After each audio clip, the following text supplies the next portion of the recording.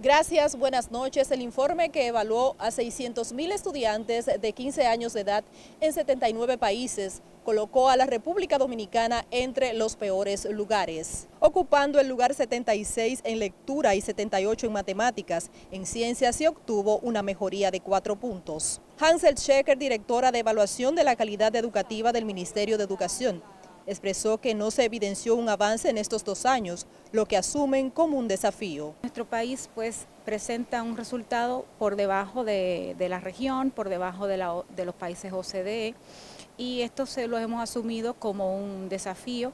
Eh, estamos monitoreando este proceso y con el compromiso de seguir actuando para mejorar la calidad educativa.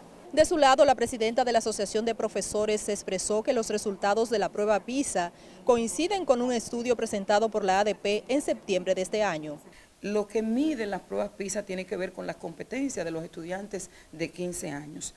Nuestros estudiantes que se les está implementando ese currículum, bueno, justamente no tenemos libro de texto acorde al currículum por competencia, de manera que ya ahí hay una deficiencia marcada del sistema. Al ser abordado este martes, el ex ministro de Educación Andrés Navarro prefirió no hablar del tema. Pero eh, aún no lo he revisado a ver cuáles son los resultados, pero sí ya me notificaron en la tarde de hoy que ya estaban eh, listos, ¿no? estaban publicados. La prueba PISA se publica cada tres años desde el 2000 por la Organización para la Cooperación y Desarrollo Económico con sede en París. Es la información, yo retorno con ustedes al estudio.